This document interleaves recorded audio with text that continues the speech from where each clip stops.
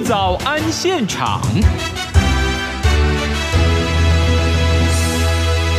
各位央广的好朋友，您好，我是夏志平，欢迎您来到早安台湾。在今天呢，志平要跟您专访一位在志平的心目当中，觉得他是一位响当当的英雄。怎么回事呢？他呢，经营了台湾很多很多不同的事业，但是呢，他呢的经营理念却是大家所没有办法去想象的。为什么呢？其实。他私底下告诉志平，他要做的就是一个不一样的事业。而今天呢，志平特别把他邀请到摄影棚里面来，请他来聊一聊。哇，原来这个不一样的事业就带来了一个不一样的成果。今天呢，我们要请他来跟大家介绍他的事业领域，有跨足到米，也就是我们所吃的米饭的米。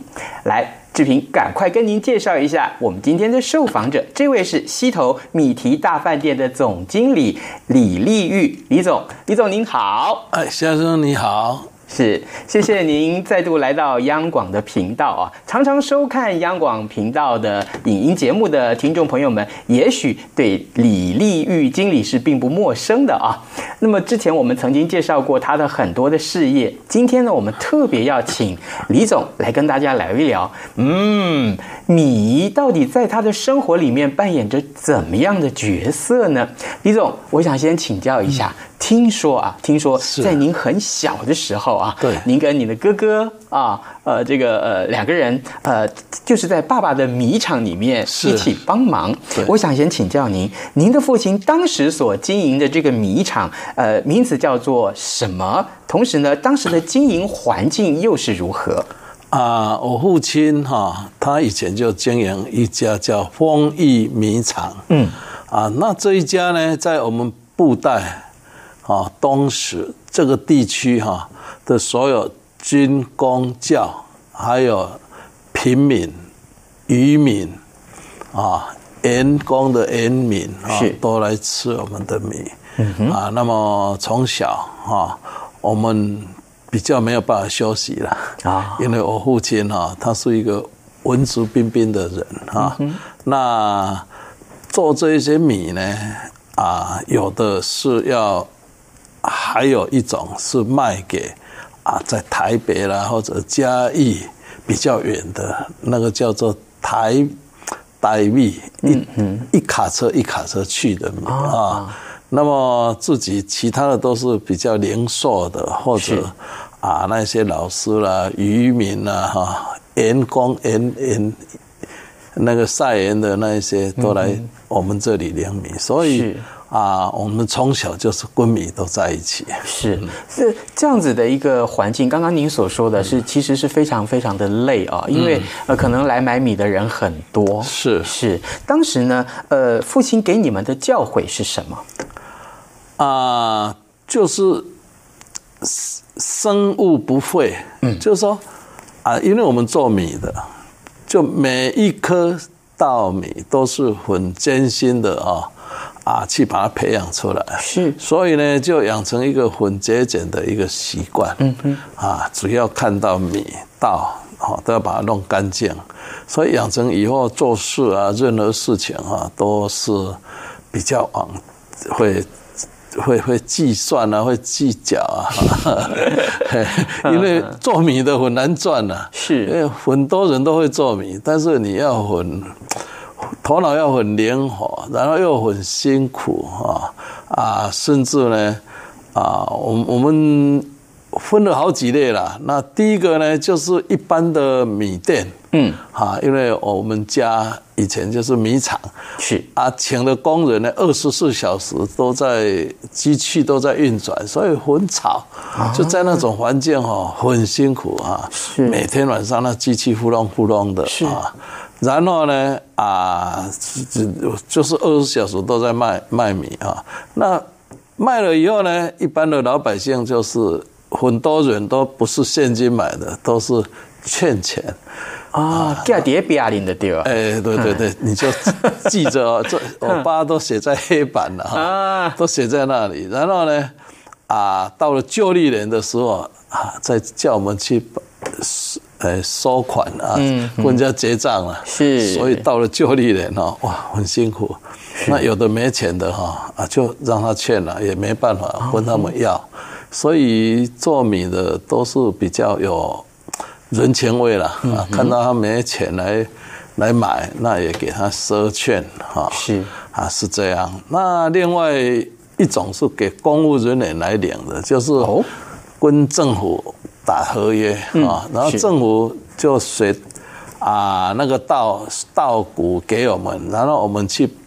帮他加工，然后请那一些啊老师啊、军工教人员呐，或者那一些盐民啊、渔民，是。哈啊，我们就有的来我们家领米哈，嗯。啊，那有的是我们要送到各个地区，哦，那那很辛苦啊，到附近的那些小乡村哈，然后啊用个车载到那里，啊请他，然后再广播请他们来。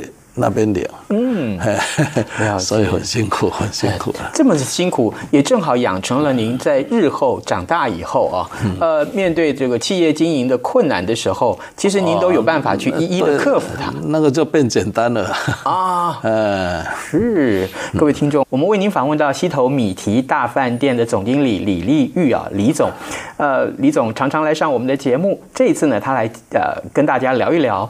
米，呃，特别是米提最近要推出的这个米提好米啊，我们有非常非常多的故事要告诉您。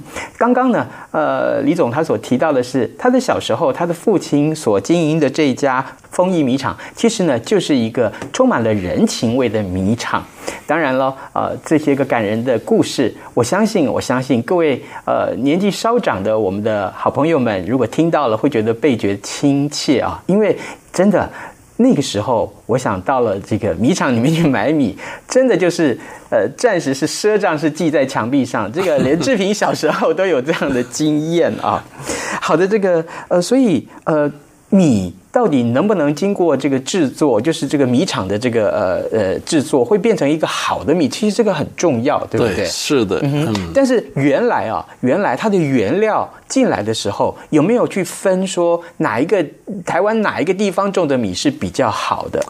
啊，其实哈，我们家就是米厂做了很久啊，大概有三四十年。三四十年。对。那其实说真的啦，以我们小时候，我父亲就常讲，台湾最好的米就是在浊水溪。浊水溪？对，就是浊水溪。为什么？啊，那个时候其实我也不懂。嗯。哈，但是呢，只要那个米哈，因为主要浊水溪那附近的水稻一来，我们一看，哇，那个都比较饱满。嗯。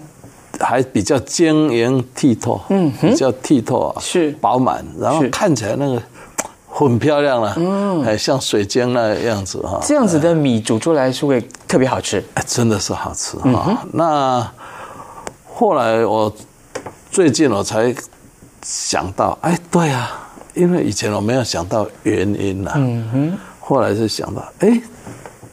浊水溪就是因为我们的河流，台湾所有的河流大概只有浊水溪是混浊的。嗯，那混浊了就表示它含的矿物质各种的啊比较高，比人家高，养分比较多。当然了，就是矿物质啦，其他的养分就比较高了。嗯啊，所以它可以培育出来比较。好的米哈，那个就是说一个好的产品，一定要好的品种以外，还有好的气候啊，好的土壤，好的水是。养分啊，大概这几方面，还有一个栽培的技术啊，栽培技术，那这个是前端，是。前端了哈，一定要这样的管理，那再加上啊农业好的管理啊，你不会管理你就麻烦了哈，麻烦。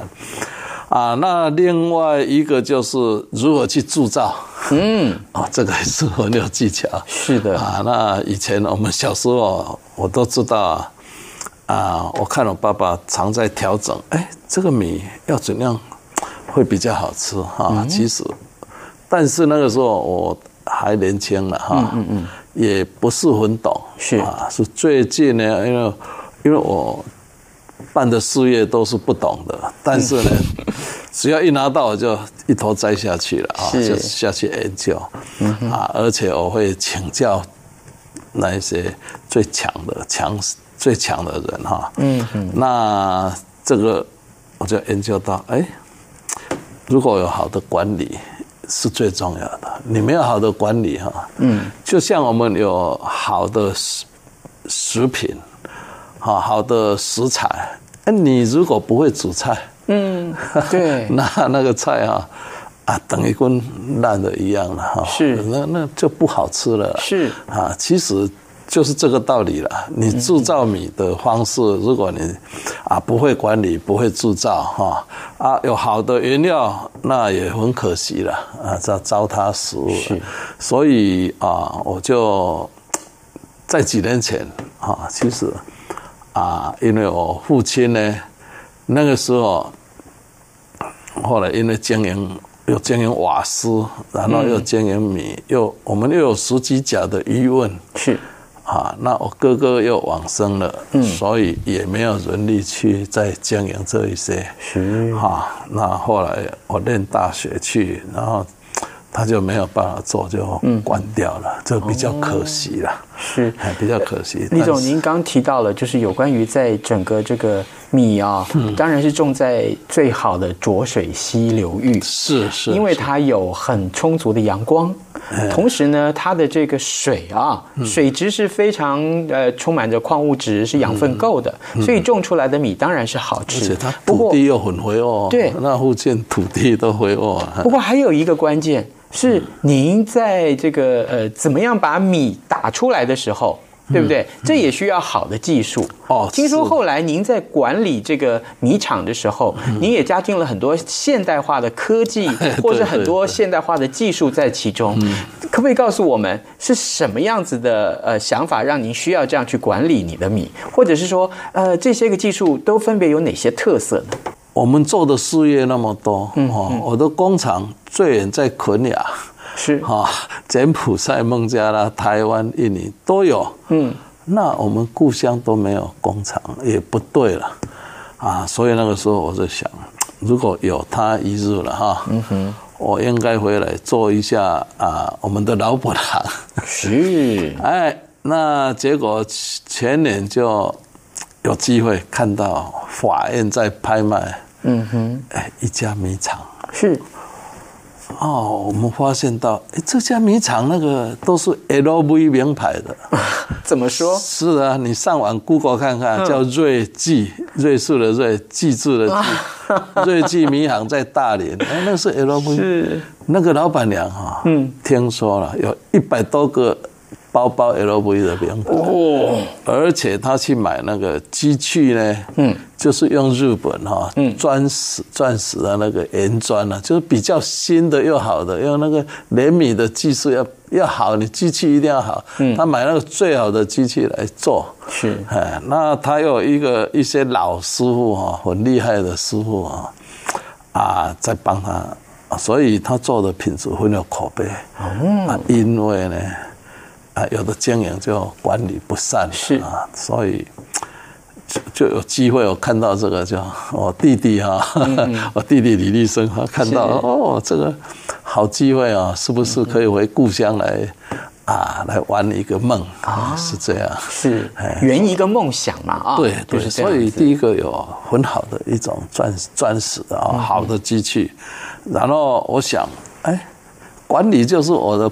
特色哦，本能嘛哈，嗯，我就喜欢把不好的变好的，啊，是，而且不一样的事业哈，那对我是一个有挑战性，嗯，要不然哈，我我做了好几十种的事业，那我自从啊肝切齿以来，七年了，我都没有去上班。啊，刚好我可以来 做做事，看，哎，我的能力还够不够可以做这个东西啊？嗯哼，那啊，我后来又换了肝嘛，就每天就是啊，只有都到处跑东跑西，就做公益。我想也应该来做一下米。那如果我能够做，也算做公益。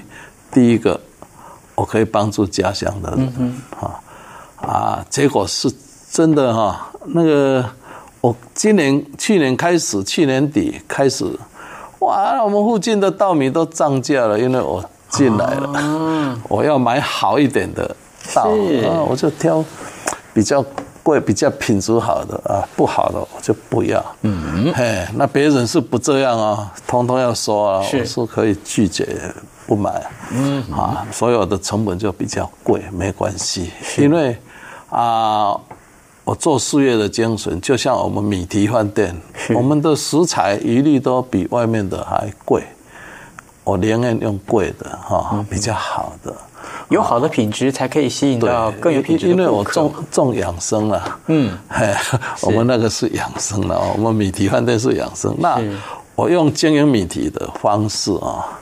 啊，那一种要求规格来做我们的米啊，所以从那个地方就开始挑啊。第一个农药、重金属的检测，这个是最重要的，要把关。是啊，那第二个呢，当然就是你品质好不好啊？有的啊，那个稻米还没有成熟，他就去把它割起来，那个我们不要。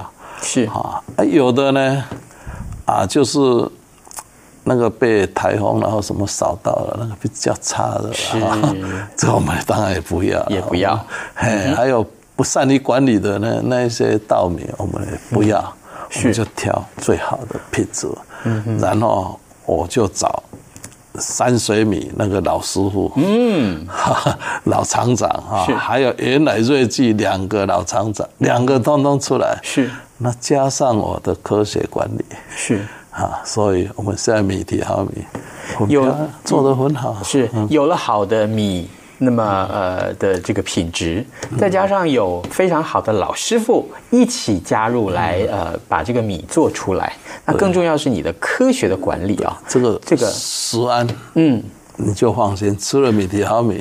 你所以科学的管理就是让您的这个呃呃食品安全上面特别能够显现出来。对，一个安全，再来就是品质比较一致，不会今天我吃到这样的，哎，怎么？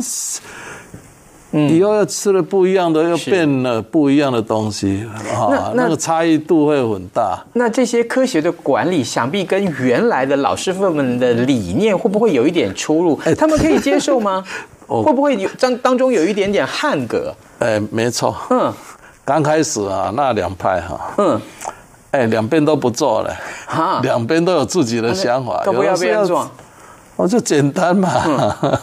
我就叫这边忍耐，那一边忍耐。嗯，然后呢，有的先退场啊，然后我来跟他学啊。你你的招数看你有多少，我也派了一些年轻力壮的、头脑又好的，是哎，来来跟着你们这些老师傅，看你有多少招数。哎哎啊，我们就看就懂了啊。嗯哼，哎，然后我们再继续再研究啊。你们只是。在那个阶段，但是我们是永远、永远在进步的。嗯，哎，哇，这个原来呃会种出好米，其实这呃只要有好的天然条件、气候条件就可以做得到。不过呢，这还只是算成功了一半而已。那最重要的是，接下来在产制米的过程里面，还要加进很多呃科学的一些呃管理方式，这才能确保米的品质。各位我们的好朋友。听完了李丽玉总经理的解说，您会不会觉得这个米真的并不容易哦？能够产出好的品质的米，其实真的很不简单。在下一个阶段的访谈里面，我们要带您看一看，这么让李总引以自豪的米，您要怎么去吃它呢？这也非常有意思的。待会儿再回到节目的现场。听众朋友，现在收听中央广播电台更方便了。除了短波收音机以及央广 RTI 网站，使用智慧型手机更能够让您随时随地、随走随听。不管您的手机是 iOS 还是 Android 系统，只要在 App Store 搜寻央广 Radio，下载完成之后，点选线上即时收听或随选收听，央广所有的节目通通任你听。如果错过了当天播出的精彩内容也没关系，我们将早安台湾、两岸 ING、台湾 APP 节目保留在 YouTube 网站，只要搜寻 RTI 央广精选节目。就能够随时重温节目精华。还有，除了央广 Radio，你还可以下载央广 News APP 应用程式，一手掌握最热的新闻大事。全新收听体验，你还在等什么啊？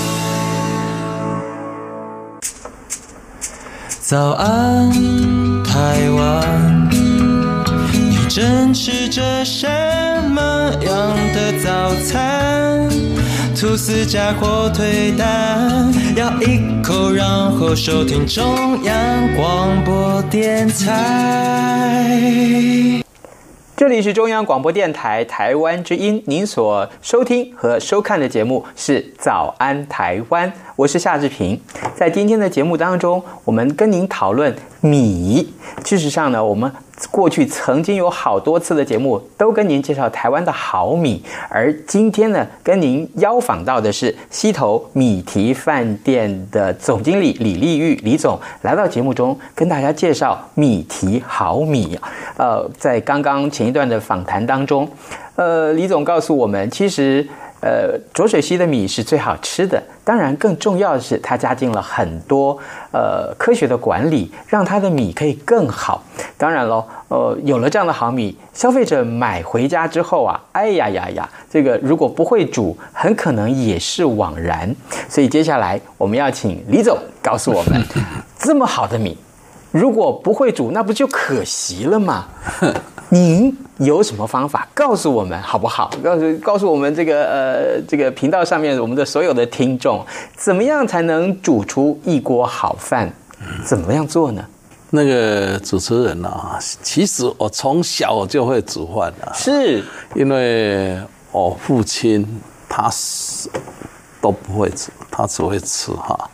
那我妈妈呢，她要到外面做生意。啊，我们所有外面的食物都是我妈妈出去比较多。那我们小孩，我练国小，我们都在家里啊，不能出去啊。好，那我只好啊去煮饭，煮给我爸爸，啊，我祖父祖母啊，还有我我们几个吃饭。所以从小我就看到我们那个米是怎么煮哈。那么我们刚开始是用那个。稻壳，水稻那个壳啊啊去煮，那个是切个坎哈，那个抽坑的掉哈，出坑哈，台湾话抽坑啊。那么这个是最难最难煮的，就是这个东西，因为它的起火是。很慢，是，然后熄火。也也是一样，哈而且那个时候没有电锅吧？没有电锅，对，要拿炭火来煮，是不是？不是炭哦，是稻壳，就稻壳那个水稻啊，就一颗一颗啊，稻米那那个壳剥起来的壳，就用那个当燃料啊，哎，那个高难度啊，还有有的是用木木材，是。哈，那有的是用竹。竹林哈，啊，有的是用那甘蔗叶，是。甘蔗叶，我我们也用甘蔗叶过，也用木材过，也用稻壳，是哈。水稻的那个壳，那一顿饭煮下来不全身都是都是很很臭的所以技巧就不一样了哈。在煮饭哦，你原来的材料哦，比如煮的东西的材料哈，包括电后来发明的电锅，嗯，还有用瓦斯，是啊，用瓦斯煮，没有以前电锅还没开始是瓦斯先有哈，比较多啊。那每一种煮法其实都不一样。啊，那么我们米提好米哈，米提饭店的米最重要的就是第一个就是品质好，是。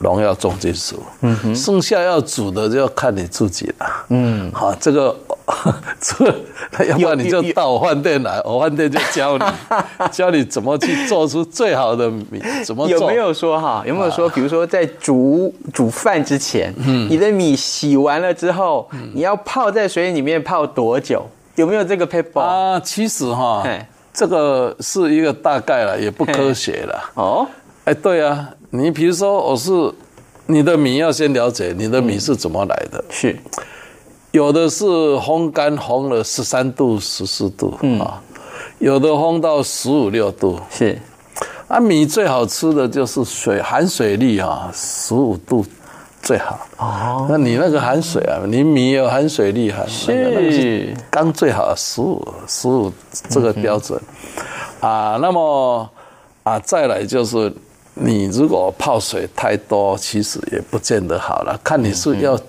怎么煮了？你是用蒸的，有的用蒸的，啊有人去买那个什么呃，哎叫做什么月光米，是有某一家大饭店，嗯我就笑死了。你为什么买月光米？他说哦，我们公司这样最好。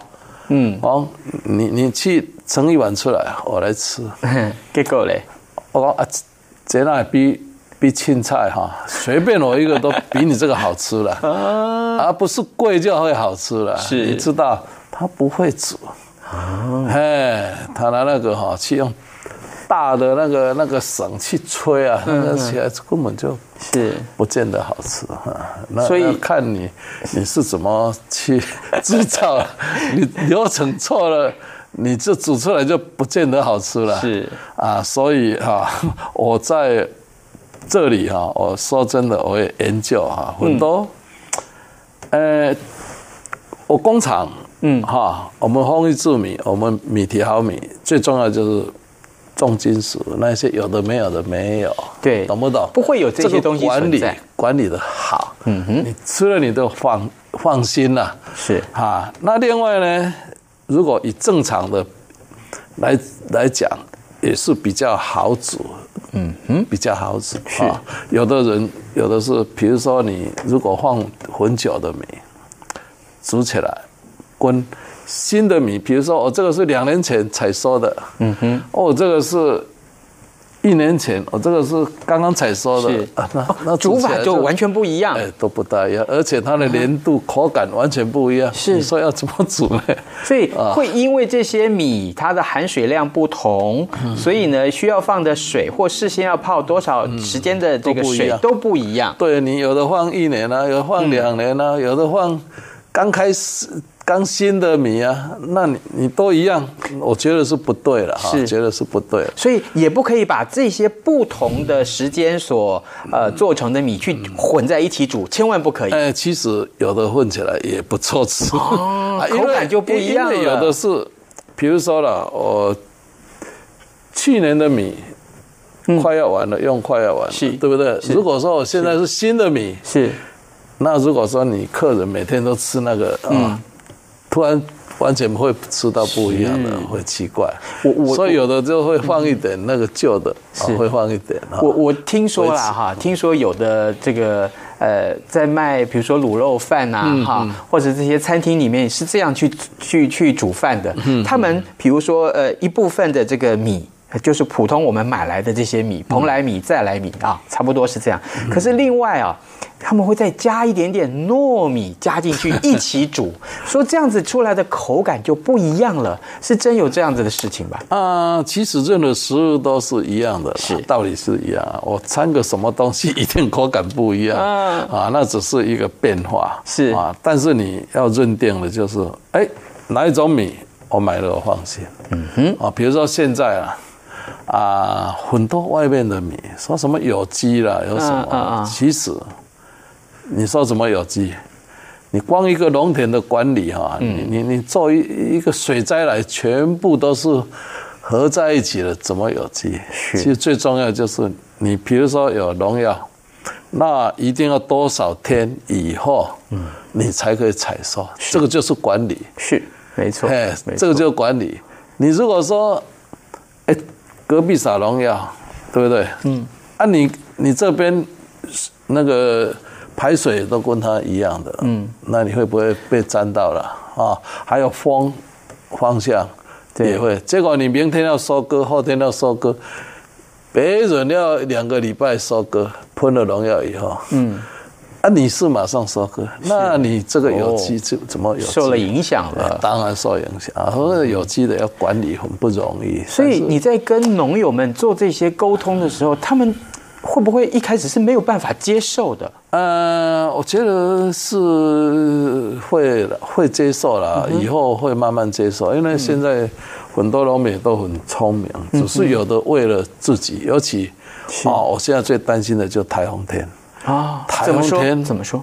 比如说，嗯，台风要来，所有的植物都要割起来啊，嗯，包括水果，包括蔬菜，对。哎昨天刚撒农药，明天要叫它收起来，要不然怎么办？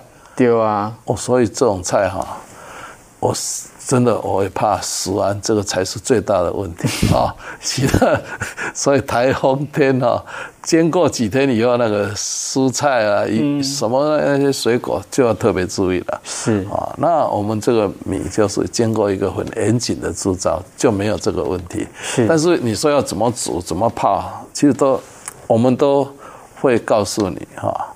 啊，比如说你跟我的一样煮，你不懂哦，就打电话来问，我们会告诉你。那因为很多种过程都不一样，而且有的要做稀饭啊，那你要告诉他稀饭怎么煮啊？是哎，那我我看很多煮稀饭都不及格。你煮稀饭啊、嗯，真的要用我们浊水溪的米来煮是最好为什？么？哎，第一个粘度够，是很黏，会是黏黏的啊。那个第一个要黏，那第二个呢，那个口感哈，完全混滑滑滑的，有了，不会好像是那个。